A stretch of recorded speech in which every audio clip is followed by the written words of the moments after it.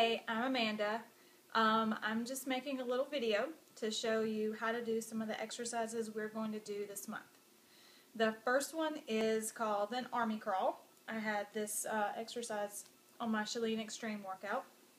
So you start out in a plank position on your elbows and you just bring your knee up as close to your elbow as you can and then put it back on each side. Keep your belly button pulled in and bring your knees up to your elbows.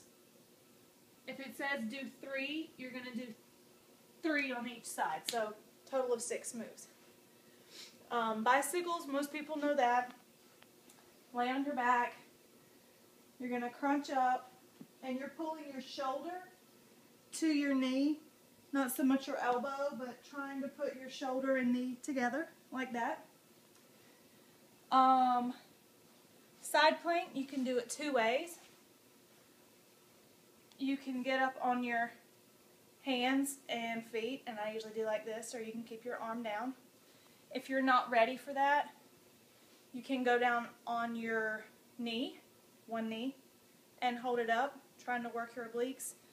And if your wrists are bad, you can even go down on your elbows, and you're still going to be feeling that pull there on your side to hold yourself up.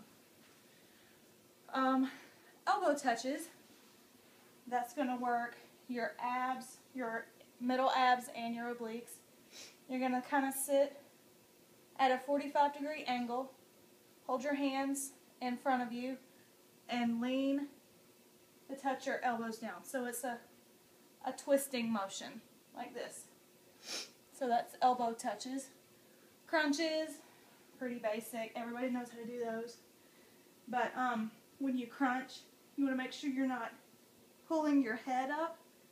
You want to just crunch up and make sure you're keeping a space between your chin and your chest. And then go back down like that. And then, of course, planks. You can do it many ways. You can do it on your hands and your toes like this. Try to keep yourself straight. You can do it on your elbows and your toes, or if you need to go to your knees, you can do that also.